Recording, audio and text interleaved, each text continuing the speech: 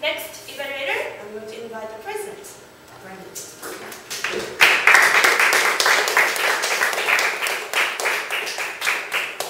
Before we start, I have a story to tell you, everyone. Not many people know this, but I actually invented the peanut. Before I came around, it was just one of them. But with my great scientific knowledge, I actually fused two nuts together. And now you have the modern peanut. You can thank me next time you have a peanut butter sandwich. It would have just been a nut butter sandwich. Okay, now you can start, Jay.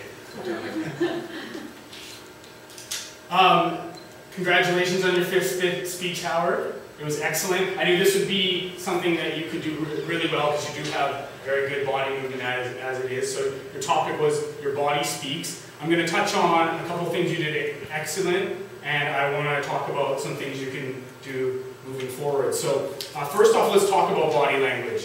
Um, there's four main focuses. Your eye contact was excellent. Um, you walked around the stage, you made eye contact with every member of this room, I'm sure at least once, and I felt like you brought everyone in, which is the, the point of eye contact. Uh, your body movement was very good, particularly in the intro, when you gave yourself um, ability to kind of play and do things with your hands, and uh, it wasn't distracting, and it was very natural the way you moved your hands throughout the presentation.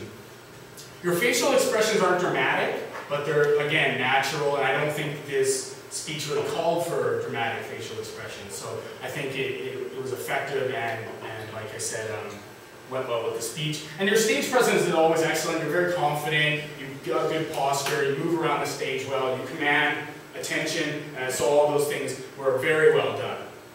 Um, looking at preparation and organization, um, this was a very well prepared speech.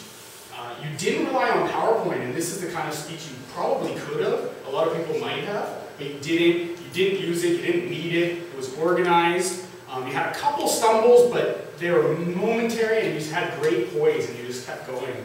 And um, the organization was excellent. Um, you had a great intro, especially the intro was really strong. Body was well explained. You had two two stories, which is great as an intro and conclusion. So I really thought the organization was a strong point too. Um, going forward, a couple things that I, I want to point out. Uh, the topic selection for me was a little bit odd for the body speaks. Um, it didn't allow you to do a lot.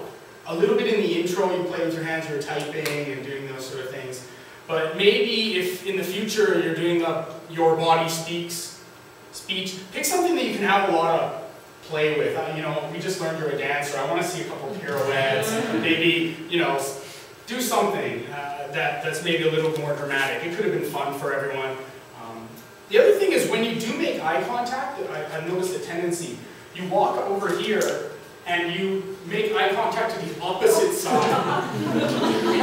so when you do make eye contact, when you move to this side of the stage, make eye contact with the people closest to you. Same as the middle, same as over here. And uh, I think that will really bring them in even more. Um, so great job going forward. I had to pick deep to even get anything on you, but uh, you know it was a great speech, and I congratulate you.